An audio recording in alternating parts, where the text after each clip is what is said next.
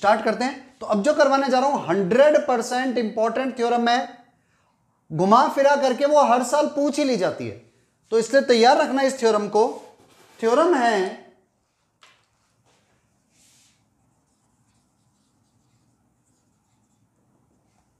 theorem is the line segment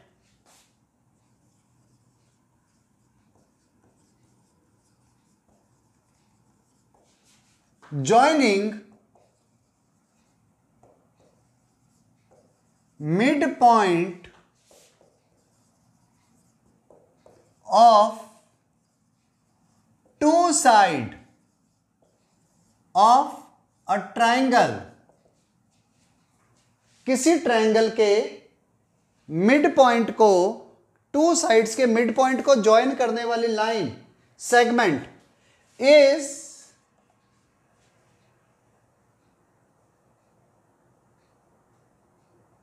parallel to the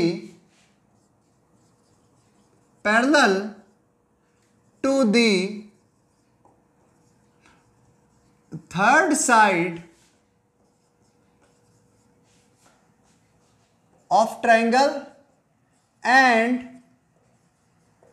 equal to half of third side most most most most important theorem है। ये इतनी important theorem है कि मेरे time पर ये आ चुकी है पेपर में। जब मैं स्टूडेंट था, उस टाइम पर ये थ्योरम आई हुई है। और वहाँ से लेकर हर साल ये घुमा फिरा करके आती है। मैं थोड़ी थ्योरम समझा देता हूँ, आप खुद ट्राई करना, फिर मैं सॉल्व करके दिखाऊँगा। ठीक है? थ्योरम ये है the line segment joining the midpoint of two sides of a triangle किसी ट्राइंगल की मान लो ये ट्राइंगल एबीसी है। वो कहता है किसी ट्राइंगल की the line segment joining midpoint of two sides of a triangle triangle की टू साइड्स के मिड पॉइंट मान लो ये इसका मिड पॉइंट है this one and this one इसको ज्वाइन करने वाली लाइन मिड पॉइंट को ज्वाइन करने वाली लाइन मैं इसको नेम दे रहा हूँ डी एंड ई ये लाइन थर्ड साइड के पैरेलल होती है मींस ये टू तो इक्वल है एंड ये साइड इसके इक्वल है। तो ये लाइन इसके पैरेलल होगी, हमें ये प्रूव करना है। और प्रूव करना है, ये लाइन सेगमेंट डीई बीसी की हाफ़ होगी। ठीक है? करो आप इसे। एक बार ट्राई करो। लिख लो पहले। चलो देखो इसका प्रूफ प्रूफ में सबसे पहले गिवन क्या है? गिवन है ABC is a triangle in which D and E are midpoint of AB and AC. D AB का मिड पॉइंट है और E AC का मिड पॉइंट है are midpoint of A B and A C respectively अब देखो, जब ये mid point है तो आप कैसे ये लाइन्स आ गई अब हमें प्रूव क्या करना है? टू प्रूव हमें प्रूव करना है डी बी सी के पैरेलल होगी. Number one D E is parallel to B C and number two D E equal to half of B C ये हमें दो चीज़ें प्रूफ कर दी एक तो डीई बीसी की हाफ़ होगी और डीई बीसी के पैरेलल होगी। तो इसके लिए हम क्या करते हैं? देखो, याद रखना, जो प्रूफ करना है उसके लिए कर क्या रहे ये स्टेप इसका सबसे मेन है। अगर आपके पास में क्वेश्चन आया ये फोर मार्क्स का तो इस स्टेटमेंट के आपको हाफ़ मार्क्स मिल जाएगा, लेकिन ये कंस्ट्रक्शन का वन मार्क्स मिलेगा। क्योंकि कंस्ट्रक्शन इसकी इंपॉर्टेंट है। आप क्या करोगे कंस्ट्रक्शन में? जितनी डीई है, इतना ही इसको आगे एक्सटेंड कर दो। जितनी डीई है, इतना ही इसे आगे एक्सटेंड कर दो। तो लिखना वी एक्सटेंड आपको पहले इस स्टेप का ध्यान रखना जितनी डीई है, उतना ही एक्सटेंड करना है। We extend DE up to F D को एफ़ तक एक्सटेंड कर दो। ठीक है? ये मैंने अलग कलर से ही कर दिया। आप तो डॉटेड करना पेपर में डॉटेड करना होता है। Up to F such that D equal to E F D को इस तरह से एक्सटेंड करो कि डी ई और ई एफ़ इक्वल हो। मींस ये वाली साइड इसके इक्वल हो जाए। And join C F C और एफ़ को ज्वाइन कर दो।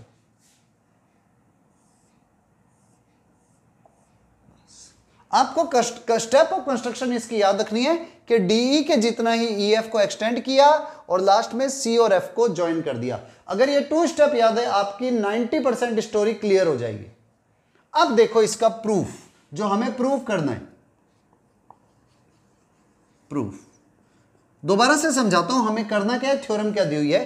थ्योरम यह है कि किसी ट्रायंगल की टू साइड्स के मिड पॉइंट को ज्वाइंट करने वाली लाइन थर्ड साइड के पैरेलल होती है और उसकी हाफ़ होती है। किसी ट्रायंगल की टू साइड के मिड पॉइंट को ज्वाइन करने वाली लाइन थर्ड साइड के पैरेलल होती है और उसकी हाफ़ होती है। हमें यह प्रूफ करना है। तो उसके लिए हमने किया क्या? डी को इतना ही आगे एक्सटेंड करके एफ़ से मिला दिया और फिर नीचे की तरफ़ इसको सी से ज्वाइन कर दिया। अब देखो, करेंगे कैसे प्रूफ नाउ प्रूफ पर चलता हूँ मैं। प्रूफ के लिए क्या करो? आप इन दो ट्रायंगल को ले लो। ए डी या यू ले लो E A D in triangle E A D and triangle E A D लिए ना तो इसी सीक्वेंस में यहाँ पर चलो। ई सी एफ़ अब देखो कैसे प्रूफ कर रहे हैं। पहले आपको स्टेप समझना है। इन टू ट्रायंगल को लिया मैंने। मेरे पास है सबसे पहला स्टेप ई डी और ई एफ़ इक्वल है. E D is equal to E F by construction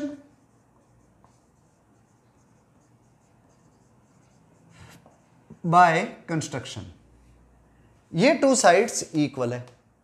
उसके अलावा ये बीच वाला एंगल इसको अगर आप नेम देते हो, इसको आप एंगल वन और इसको एंगल टू दे देते हो angle D E A D लिया था ना ई ए डी ऊपर वाला तो ऊपर वाला एंगल लिखो। Angle two equal to angle one. Reason vertically opposite angle vertically opposite angles are always equal तो angle one and angle two equal हो गए। नेक्स्ट आपके पास में ये साइड इसके इक्वल थी, ये एंगल इसके इक्वल आ गया। एंड ई ए और ई सी इक्वल है। ये गिवन था कि भाई वो मिड पॉइंट है ई गिवन। तो आपके पास ये टू ट्राइंगल कॉन्गुरेंट हो गए। भाई साइड एंगल साइड से तो by S A S triangle E A D is congruent to triangle E C F होंगे। बोथ ट्राइंगल्स आर कॉन्गुरेंट दोनों ट्रायंगल कॉन्गुरेंट हो जाएँगे। और जैसे ही बोथ ट्रायंगल्स आर कॉन्गुरेंट आपके पास में कंडीशन क्या आ गई? हर चीज़ में इक्वल होंगे। मींस ये वाला एंगल इसके इक्वल है। तो आपके पास, अब देखो, जैसे जैसे सीक्वेंस लिया, वैसे वैसे चलना। ये साइड इसके इक्वल तो इसके बाद वाला एंगल दिस वन ये एंगल इसके इक्वल होगा। आप इसको भले नेम दे देना, इसको थ्री दे देना, इसको फोर दे देना। और ये वाला एंगल इस एंगल के इक्वल होगा। एंगल फाइव और एंगल सिक्स भी इक्वल होंगे। और ये वाली साइड इस साइड के इक्वल होगी।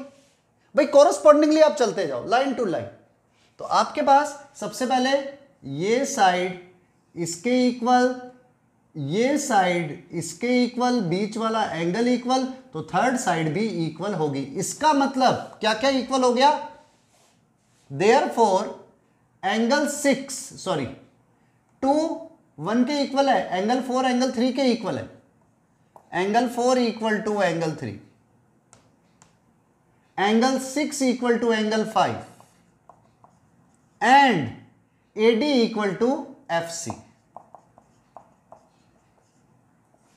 A D equal to F C means ये वाली साइड भी इसके इक्वल हो गई। जो टू टू करके इक्वल लगा रहा हूँ ना, जैसे इधर टू डॉट्स लगाए, इधर टू डॉट्स लगाए, इधर टू डॉट्स लगाए तो ये कॉरस्पॉन्डिंगली इक्वल है।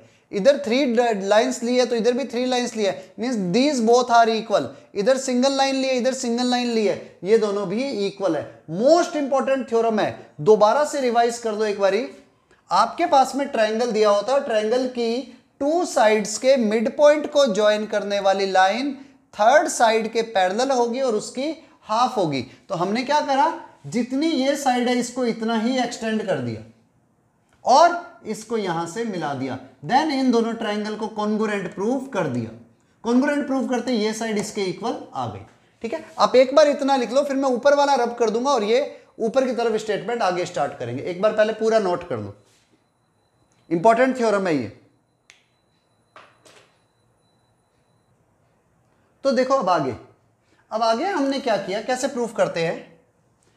ये टू ट्रायंगल कॉन्गोरेंट होते ही ए डी इक्वल टू आ गई सी एफ़ और हमें अभी अभी पता है कि भाई ये मिड पॉइंट है तो ए डी और डी बी तो इक्वल है। तो it means A D D B के इक्वल है। तो डी बी सी एफ़ के इक्वल होगी। देखो, क्यों? Because of D is the mid point तो ए डी और डी बी इक्वल है। A D is equal to D B अब देखो ए डी डी बी के इक्वल है। और A D he F C के इक्वल है। इसका सीधा सा मीनिंग हो गया ए डी डीबी के इक्वल और ए डी एफ़ सी के इक्वल तो डीबी और एफ़ सी भी इक्वल होगी therefore D B is equal to F C means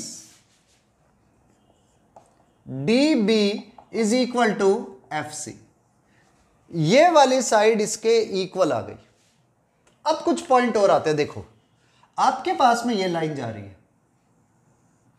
angle six और एंगल फाइव इक्वल आए। ये टू लाइन जा रही है, एक लाइन ने से कट कर दिया एंड ये दोनों एंगल इक्वल आ गए।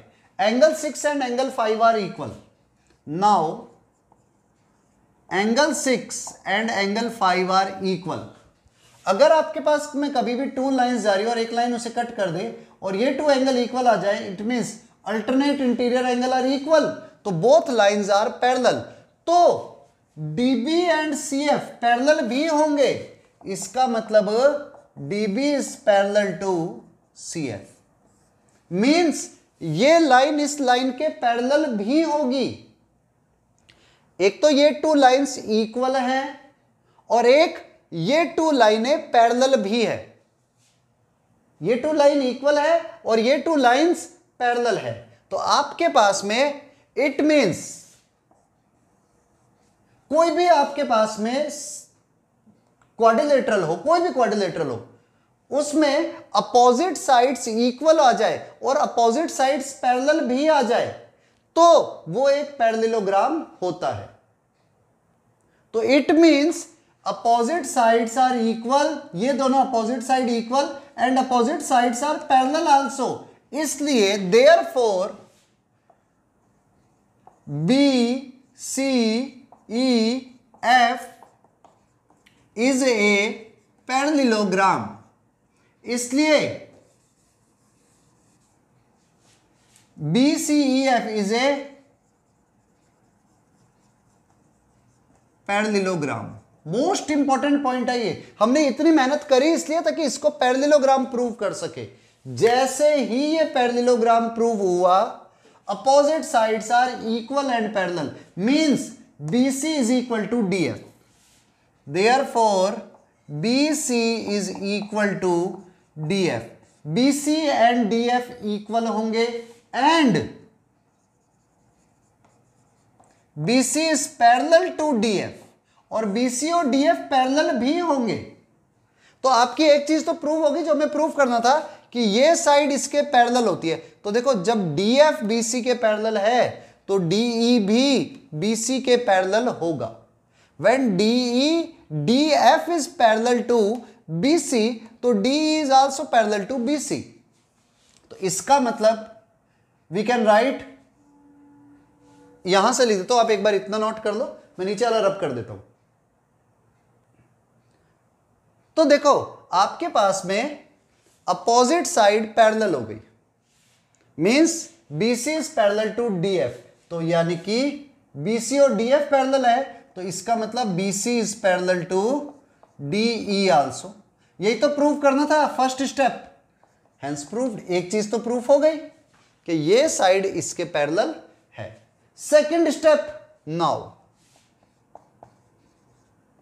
एक और प्रूफ करना है कि डीई बीसी की हाफ़ होती है।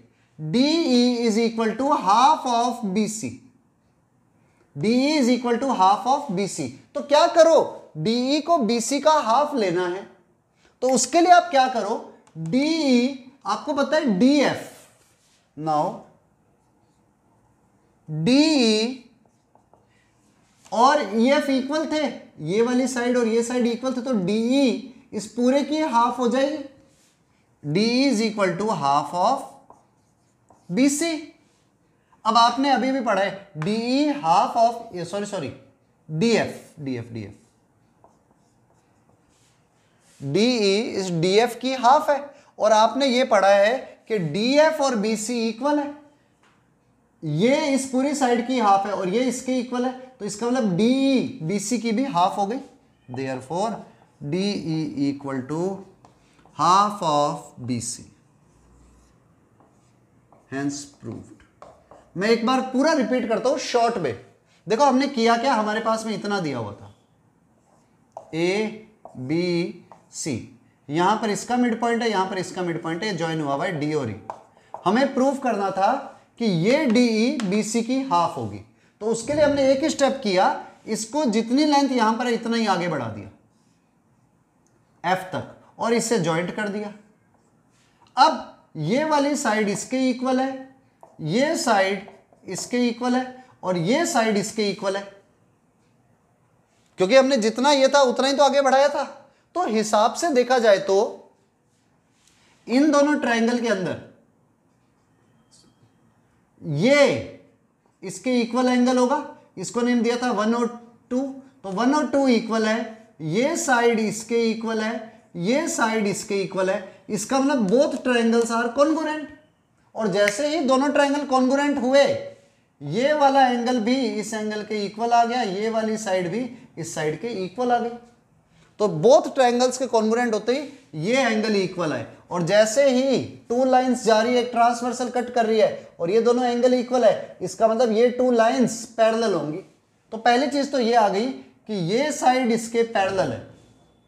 दूसरा ये आ गया, जब ये इसके इक्वल है और ये इसके भी इक्वल है means these both sides are equal तो अपोजिट साइड्स इक्वल आ गई अपोजिट साइड्स पैरेलल आ गई तो इट इज़ अ पैरेललोग्राम ये हमारे पास में पैरेललोग्राम बन गया। अब जैसे ही पैरेललोग्राम बना, आपके पास में अपोजिट साइड सारी इक्वल होती है। तो ये स्टेप हमारे पास में और आ गया means it is a parallelogram तो बीसी इसके पैरेलल भी होगी और बीसी इसके इक्वल भी होगी। तो जैसे ही बीसी इसके पैरेलल हुई बीसी डीई के भी पैरेलल हो जाएगी। और जैसे ही बीसी डी एफ़ के इक्वल हुई तो बीसी डी ई के हाफ़ के इक्वल होगी। सॉरी डीई बीसी के हाफ़ के इक्वल हो गया। ठीक है? Most most most most important theorem है, कम से कम टू टाइम इसको रिवाइज करना। कम से कम टू टाइम इसको रिवाइज करना। इस वीडियो को ही कम से कम टू टाइम देख लेना। वन मोर थ्योरम और ये भी उतनी ही इंपॉर्टेंट है जितनी प्रीवियस थ्योरम इंपॉर्टेंट थी। ये थ्योरम है, बस टू थ्योरम इंपॉर्टेंट आ रही है अभी जो फ़र्स्ट लिख दी, ये सेकंड थ्योरम है। Second theorem is the line drawn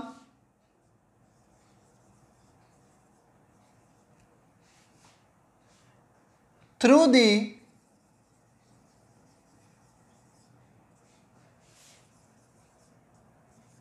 midpoint of one side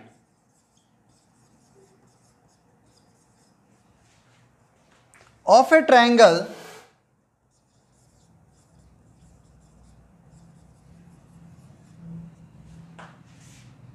parallel to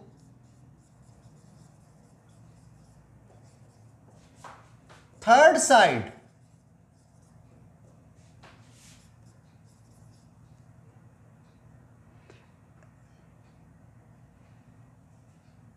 We are parallel to second side. Bisect the third side. ये भी उतनी ही इंपॉर्टेंट थ्योरम है जितनी प्रीवियस थ्योरम इंपॉर्टेंट थी। मैं इसे पहले थोड़ा डायग्राम के थ्रू समझाता हूँ, फिर आप खुद इसे प्रूव करने की ट्राई करना। थ्योरम यह है कि अगर the line through the mid point of one side of a triangle किस through the mid point of one side of a triangle आपके से कोई भी ट्राइंगल है? ए बी सी इसके वन साइड के मिड पॉइंट से, अब अभी ऑलरेडी मिड पॉइंट है। A the line through the mid point of one side of a triangle. Mid point ये ले लिया D parallel to second side में सेकंड साइड ये ले रहा हूँ। इसके पैरेलल लाइन ड्रॉ करी। बाइसेक्ट दी थर्ड साइड तो ये थर्ड साइड को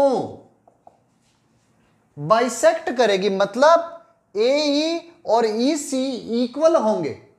हमें प्रूव करना है कि ये और ये इक्वल होंगे। रिपीट करता हूँ, यानी कि थ्योरम ये है कि किसी ट्रायंगल की, किसी एक साइड के मिड पॉइंट से A B C D mid point से अगर किसी और साइड के पैरेलल लाइन ड्रॉ कर दो तो वो, ये मिड पॉइंट से ड्रॉ हुई है तो वो, ये साइड दोनों पैरेलल है लाइंस तो वो इस लाइन को टू इक्वल पार्ट्स में डिवाइड करेगी। अगर आप इसके पैरेलल लाइन ड्रॉ करते हो तो वो टू इक्वल पार्ट्स में डिवाइड करेगी। आपको ये प्रूव करना है, ठीक है? आप खुद ट्राई करो डायग्राम वो मैंने बना दिया है। थ्योरम क्या है आपके पास है गिवन क्या है, ये आपको पता है प्रूफ क्या करना है आपको, ये पता है। प्रूफ आपको करना है ए इक्वल टू ई सी होगा, बस। अब आपका माइंड है, आप जैसे चाहो वैसे करो। ठीक है? थ्योरम नोट कर लो और प्रूव करो इसे। चलो, देखो इसके प्रूफ पर चलते हैं। तो सबसे पहला स्टेप आपको देखना पड़ेगा गिवन क्या है। गिवन है ABC is a triangle in which D is the mid point of A B A B का मिड पॉइंट है D means A D equal to D B and एक और क्या गिवन है? D is parallel to B C ये दो चीज़ें given है। अब मैं बिना प्रीवियस थ्योरम को यूज़ लिए हुए इसको प्रूव कर रहा हूँ। तो हमें प्रूव क्या करना है? टू प्रूव प्रूव करना है, ये लाइन यहाँ पर जाएगी तो ये इसको भी मिड पॉइंट पर कट करेगी। प्रूव करना है E is the mid point of A C means ये साइड और ये साइड इक्वल होंगी। Means A is equal to A C prove करना है। Sorry A equal to E C prove करना अब क्या करो, उसके लिए कंस्ट्रक्शन करो। ये मेथड बुक से डिफरेंट हो सकता है, जो आपकी बुक में मेथड दिया है उससे, लेकिन ये बिल्कुल एक्यूरेट मेथड है। आप कंस्ट्रक्शन में क्या करो ई e से, इसके पैरेलल डीबी के पैरेलल एक लाइन ड्रॉ कर दो। जो इसको एफ़ पॉइंट पर कट करे। तो लिख देना we draw E F parallel to A B या डी बी कुछ भी लिख दो। विच कट या intersect B C at F जो इसको पॉइंट एफ़ पर कट करे। अब देखो, ये लाइन इसके पैरेलल ऑलरेडी है। भाई, हमने पैरेलल ही तो लाइन ड्रॉ करी थी। और ये लाइन हमने इसके पैरेलल ड्रॉ करी। तो इसका मतलब प्रूफ पे जब आप चलोगे, D is to B F given था ना? ये रहा। D is to B C तो डी बी एफ़ के भी पैरेलल हुई। And DB is to E F अभी अभी हमने लिखा है। And DB is to E F. तो ये साइड इसके पैरेलल, ये साइड इसके parallel, opposite sides of parallelogram. तो ये पैरेललोग्राम बन गया। It means A B F E D is a parallelogram ये एक पैरलिलोग्राम बन गया। यानी कि पैरलिलोग्राम बनते ही, देखो ये साइड इसके इक्वल ये साइड इसके इक्वल मींस ये वाली साइड इसके इक्वल आ गई। मतलब therefore D B is equal to E F इसको भी एक नंबर दे देते हैं नंबर थ्री बस हमारा काम अब हो गया, अब बड़ा इजी है। आपको करना क्या है? इन टू ट्रायंगल्स को कॉन्गुरेंट प्रूव करना है। जैसे आप इन टू ट्रायंगल्स को कॉन्गुरेंट प्रूव कर दोगे आपके पास में ये साइड भी इसके इक्वल आ जाएगी। तो कैसे प्रूव करें? नेम दे देते हैं। E D A in triangle E D A and triangle जैसे जैसे यहाँ ले रहे ई डी ए ऐसे यहाँ ले लो। सी एफ़ ई सी एफ़ ई देखो, अब क्या क्या चीज़ें इक्वल है? पहले उससे चलते हैं। ये वाली साइड इसके पैरेलल है। तो श्योर हो गया और सॉरी, ये साइड इसके पैरेलल है और ये साइड इसके पैरेलल है। तो एक चीज़ तो ये इक्वल हो गई, ये वाला एंगल इस एंगल के इक्वल हो गया। इसको नेम देता हूँ, चलो सबको नेम दे रहा हूँ मैं। One two three four five six seven name दे दिया मैंने अपने मन से। तो पहली चीज़ ये साइड इसके equal this side is equal to this और ये साइड ऑलरेडी इसके इक्वल है। तो लिखना because of E F is equal to D B and D B is equal to A D इसलिए E F is equal to A D